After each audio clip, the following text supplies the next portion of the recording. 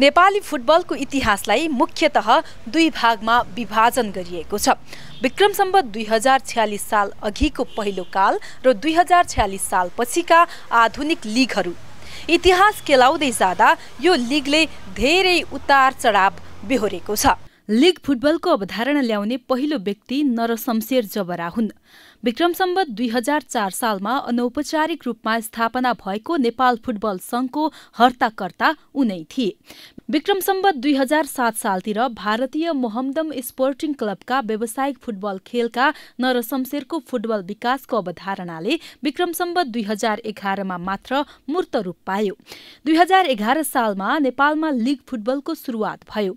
यति बेलासम्म राणा दरबार हुँदै फुटबल खेल केही हदसम्म जनताहरूसम्म पुगिसकेको थियो। दुई हजार छयालिस अघिका लिगका तथ्याङ्कहरू स्पष्ट छैनन् तर तत्कालीन अवस्थामा यसले फुटबलको संरचना स्थापना गर्न ठूलो मद्दत गर्यो। दुई हजार छयालिस साल यता लिग निरन्तर हुन सकेन। दुई हजार बाहन्नमा आएर पहिलो लिग भयो।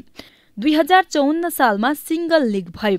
दुई हजार सन्ताउन्न र दुई हजार साठीमा पनि सिङ्गल लिग नै भए। दुई हजार एकसठीमा सुपर सिक्स अवधारणामा खेलाइयो। Three star club Nepal police club Manang Marsyangdi club Nepal army club French club र जाउलाखेल युथ क्लब शीर्ष छ स्थानमा रहे।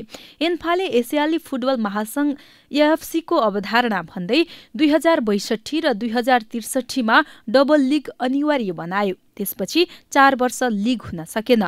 त्यसपछि दुई हजार छैसठी र सतसठीमा लिग फेरि सुरु भएको इतिहास। छ इतिहास वर्तमानको कारण हो। त्यसैले आज नेपाली फुटबलको स्तर जहाँ छ त्यसमा लिगको महत्त्वपूर्ण भूमिका छ। तर यसलाई अझै व्यवस्थित गर्न आवश्यक छ। यसमा सरकार र सम्बन्धित निकायको ध्यान जाला नै। स्पेस फर्क टेलिभिजनका लागि क्यामेरामा निशान गौतम र सुरेन्द्र राउतका साथमा प्रकृति भाट काठमाडौँ।